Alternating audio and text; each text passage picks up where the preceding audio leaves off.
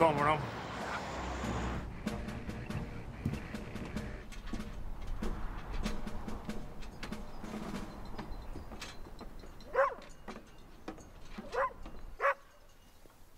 Welcome, Knuhult. Thank you.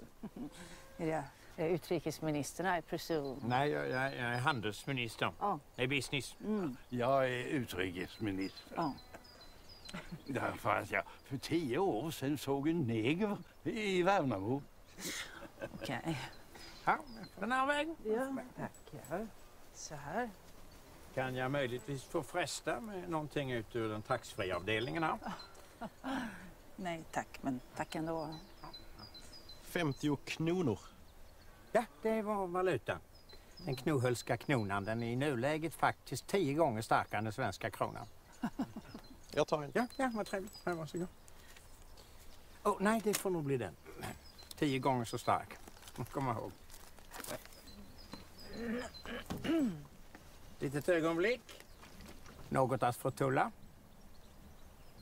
Something to deklarera. Ja, det är bara tillåtet med 10 liter öl, 15 liter vin och en halv liter sprit.